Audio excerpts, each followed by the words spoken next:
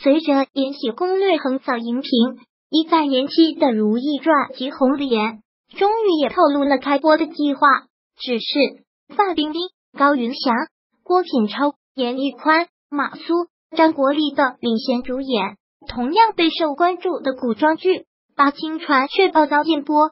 这下华谊兄弟、恒大影视、腾德等投资方怕是要哭晕在厕所了。该剧号称投资五亿。仅范冰冰个人就投资两亿。此前因高云翔性侵案影响，唐的影视的股价直线暴跌，甚至一天内蒸发掉八点五亿，还指望依靠八清传翻盘呢。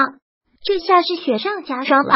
近日，知名导演再次实锤爆料，八清传因为有范冰冰、高云翔、马苏的问题艺人，还有涉及秦始皇强奸寡妇、歪曲历史等诸多因素，彻底不让播了。据了解，王俊霖导演曾指导过《老井》《龙瑶》《惊魂绣花球》《暗夜良人》等多部影视剧，而作为该剧的女主角，娱乐圈铲屎官宋祖德盯着范冰冰不是一两天了。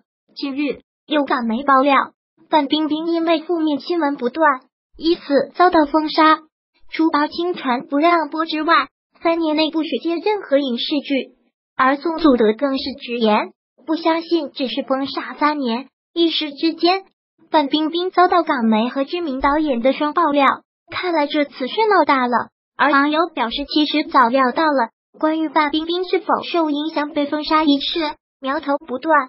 首先是原定于八月十七日上映的电影《大轰炸》，在官方微博改档为十月二六日，而作为主演之一的范冰冰名字直接从海报中消失。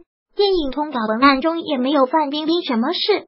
此前，大轰炸在重庆超前点映，看过的电影的网友表示，范冰冰在电影中的戏份还在。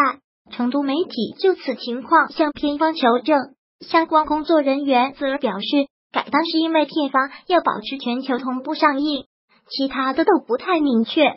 关于一抽屉合同以及范冰冰的各种言论，网络已经是铺天盖地。网友一时很难辨真假，不过最终真相到底如何，相信官方有关部门不久就会公之于众。